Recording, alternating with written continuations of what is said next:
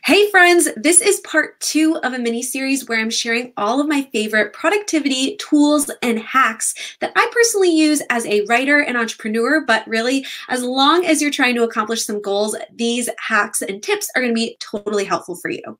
Last time I shared all about my bullet journal and I'll link that video below in case you want to check it out. But in this video, I'm going to be sharing all about my Google Calendar and how to create a time block schedule that works for you and your goals. I've talked about my Google Calendar in the past and showed you actually in action how I use it day to day with my bullet journal in this daily vlog right here. But many of you, including my awesome patrons like Kyra Hunter and JJ Otis, have been asking for more of a step-by-step step deep dive into how to actually create a schedule for you that looks something like this. All right, so when I set up my Google Calendar, I use it for two main uses. One is to set up an ideal schedule, which you can sort of see here with time blocks that I believe will help me accomplish my biggest goals.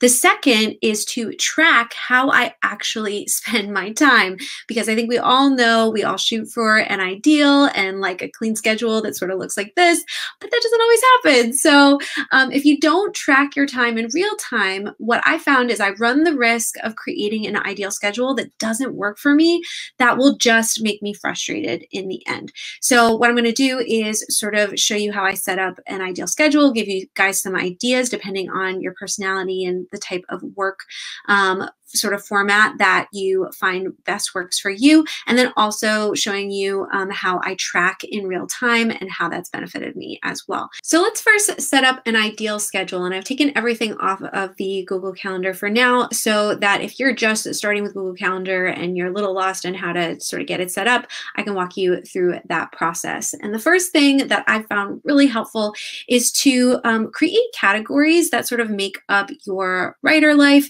and your personal life so that when you put things in here, again, you see the color coding and you see the separation and you can sort of move things around and just make it really easy to set up this schedule visually. Um, so even before I get in here as well, I would just take like a blank piece of paper and write down everything in your life that you have to schedule out. Everything, all your personal stuff. So if you have a job outside of um, writing or just different side hustles that we're going to talk about in a little bit. So like if you have your day job, if you have family family stuff, if you um, have anything at all, church, whatever, um, make a category for it. And how you would do that is going to other calendars at the bottom here, pressing the plus button, creating new calendar and titling it, and then just clicking create calendar and it will show up over here. Um, so I would just make that list on a piece of paper first of all those different things and then, um, then put them in as calendars. And then we can start um, giving them different colors and all that jazz. After I have these categories or sub calendars all set up, the second thing I do is start populating my calendar with events, obligations, commitments, personal routines first that already have claim on my schedule because it's hard to tell how much time I have left over for my goals until I do this step. Then I set any of them to recurring that would be recurring. Um, you can always go in to um, any of these and click here and then go into edit and you can make them, you know, recurring weekly on a Monday or every weekday, Monday through Friday every week. You can also do custom and set it like Monday through Friday, like until March or until whenever. Um, and so there's a lot of different kind of things that you can set up here as well to help you out. And then I would go in and start um, looking at the free time that you have, looking at the time that is flexible so that as you're setting up your routines for writing and any other writing related things, you know where it can fit most likely. Um, and I also really love sort of dividing my writer life into three main categories. And I think you saw it before a little bit, but I have my books, um, my income, because I do some um, side hustle kind of things so I can work from home. And hopefully, when we have kids, I can continue to do that because I'd love to raise my kids at home and work from home and work for myself. And then I also have um, stuff for my platform and networking and building all of that. So those are the three categories for me. If you're wondering how I came up with these three categories, um, you can definitely check out my goals video uh, for 2020. Um, I do talk about a goals workbook that I sort of put together for myself with an eight step strategy of how I came up with my three main goals for the year and how I broke that up into quarterly and weekly and monthly and all this different kind of stuff um, into tasks that would go into those different um, times of the year so I could accomplish the bigger goals that I had. And so if you're just struggling to sort of narrow down your goals and figure out how to accomplish them, um, all of my patrons get access to that workbook. And so you can definitely check that out. I'll link that below as well as my goals video so you can take a look at that if you want. But anyway, again, I would take those three main goals and I would give each of them a color. And obviously, you're going to break this down um, every week into even smaller tasks, which I'll talk about in a second. Um, but right now, we're just setting up these blocks. So I marked um, anything book re related or publishing related or writing craft, like learning related in blue, and then anything that had to do with income and side hustles in green, and then anything in platform planning and networking um, in like a purpley blue. And I actually use this also in a Kanban board that um, I'm started in uh, Trello, actually. Um, so it's a digital Kanban board that I showed a little preview of in last week's video and my bullet journal video. And you guys, a bunch of you got really excited about it and wanted to see more. And so I am going to be doing a couple of videos on how I'm using Trello and sort of using these same kind of color systems um, to sort of work on my productivity even more. Um, and because I just have so much fun with this stuff and it really does help me make the progress uh, that I want to make. So if you're interested in that, definitely make sure you're subscribed. Let me know down in the comments what kind of things you'd like to see um, in that video or what questions you have um, and hit the like button on this video so I know to make more productivity videos like this. But then I will start filling out the space with these time blocks that I'm going to sort of set aside and be like, this is going to be the time to work on this goal. Um, and what I also want to say before I get too ahead of myself is to just make sure you have some breathing room too. You can see that not every single hour, um, especially after the quote unquote workday, um, I'm not packing with everything because if you don't have some breathing room, then you're gonna drive yourself crazy. Um, so even here, like I should probably just take a lunch break and not uh, make it a working lunch. So to listen to my own advice, what I probably should do here is have a real lunch break and move this down and let it affect everything going forward, not just this event, and say okay, and then move income down. So I have a little less time for that, but um, I will probably have a lot better sanity because of it. But if you're just getting started, um, depending on the kind of person you are, here are some of my ideas for how to set up these time blocks. The first is for the people that thrive on focusing on one thing at a time and working slowly on that one thing. And I would suggest for those people, especially if you only have a hour, a couple hours a day, is to focus only on one goal each day. And then you can layer in sort of more specific tasks so for those kind of people, your schedule might look something more like this, where on Monday and Tuesday, I want to focus on book stuff. For Wednesday, I want to focus on platform. And then for Thursday, Friday, I want to focus on income. Now, that'll probably shift and change again in real time. But for those kind of people that really thrive on, okay, just give me one thing to focus on, and that's going to really help me be successful, then you might want to separate it day by day. Then as you're going throughout your day, you can layer in the different tasks that you're doing for that um, part of your life. So here I might say that I'm editing my book and I'm going to do that for two hours, or if I'm tracking my time, I can say that I did that for two hours. And then maybe here, you know, I'm getting um, feedback from my CP.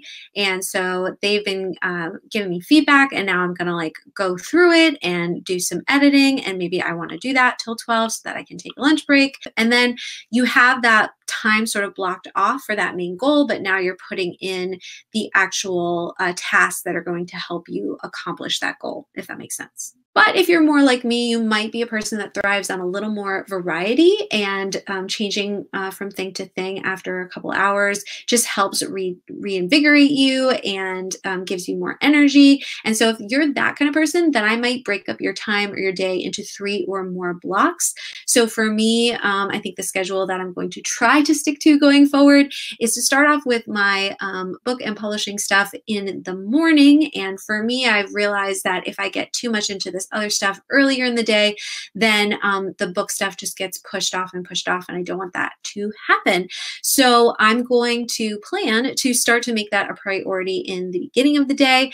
Then in the middle of the day, I'm going to check in on my social platforms, going to try to stay off of social media as much as possible um, during the morning so I can just focus on book stuff. But I'm going to connect with people and work on building my author platform in the middle of the day after lunch, and then um, spend maybe the rest of the day working on side hustles and things that I've committed to, and people and clients that I've committed to um, the rest of the day.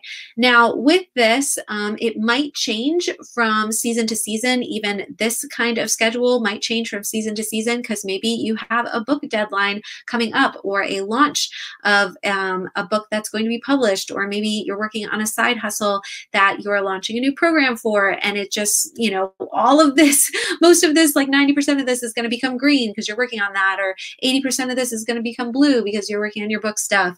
Um, so it really, I would really make it depend on what is most important to you um, during this season. If things um, are mostly equal, then you can set it up, set it up equally. Um, but if, yeah, if your book stuff is most important to you in this season, then I might work in percentages and sort of say that, okay, I'm going to, maybe you're in an editing stage and you have a deadline and you're like 50% of my time is going to go to editing my book. So I would make the book sections a lot longer during each day. Um, or if, again, you're launching some kind of new income stream, then maybe that needs to be um, more of a percentage. But you only have have a certain amount of time every week.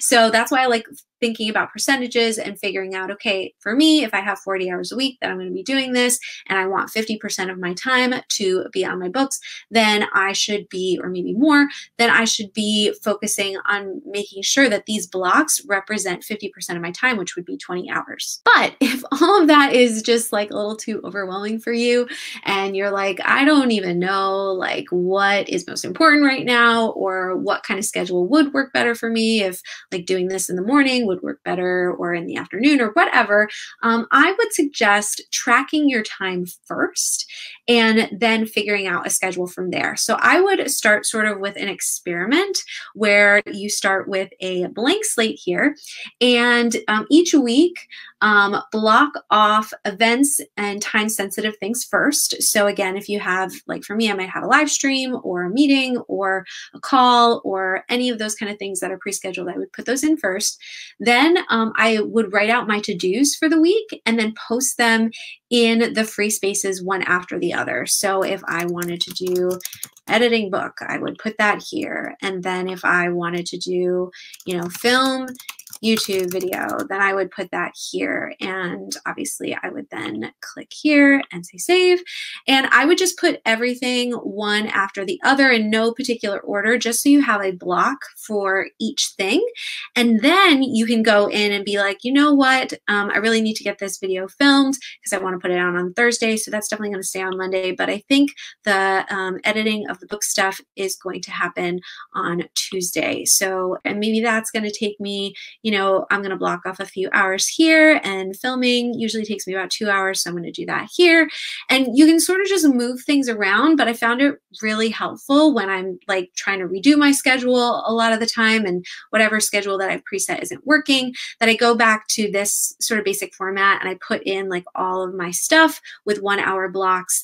Um, and then I just play Tetris and I move it around and then I experiment and I try go throughout the week and I see if it works um, and what works and what doesn't work and I sort of um, evaluate that. And then I sort of stand back and I say okay can I make a um, actual like kind of ideal schedule out of that. So again, whether you are just creating this for the first time um, or you have an ideal schedule and going forward, again, I would be tracking real time. And I'll just be really transparent here and just show you a quick look. Here we go at the last few weeks and how I've been spending my time. And I've been trying to refigure out what kind of schedule works for me. But now after going through a few weeks, I'm now at a point that I'm like, okay, I think that this schedule might help me focus a little bit more and separate my goals and figure out what will work. Whereas the last few weeks, um, I've been very book focused because I've been preparing to um, get ready for author mentor match. But now I want to get back into a rhythm where I'm sort of um, making sure that I have a little bit of time for each one and each part of my goals. But that's why I think it's so important to, again, use your calendar not just as like to preset everything up, but to actually track your time in real time. So again, each day I start with my ideal schedule, but then I update my calendar as I do things so I can track where my time is actually going. And I love that Google Calendar also has an app so I can do this um, when I'm not near my computer as well. And when I track my time, I just learn so much about what's really working for me, and then I can create a better routine accordingly. If you're excited to dig in and create your own ideal schedule, let me know below in the comments. And once you create it, if you want to post a picture of it on your Instagram or Twitter account, be sure to tag me and I'd love to give you a shout out. If you want to check out even more productivity tips, you can check out my full playlist on the screen here and make sure you're subscribed so you don't miss any future productivity videos like this one, including how I use my Trello Kanban board, which is coming soon.